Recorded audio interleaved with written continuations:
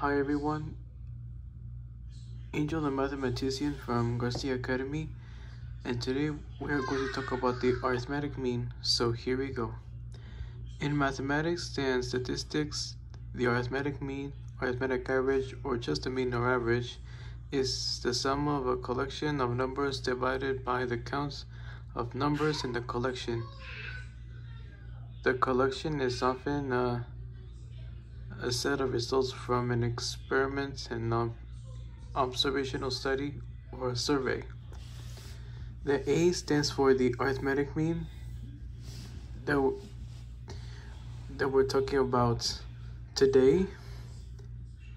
N stands for the number of values, which is the denominator. And the A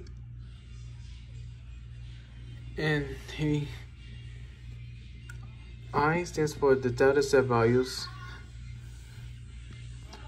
We talked about the dataset last Tuesday.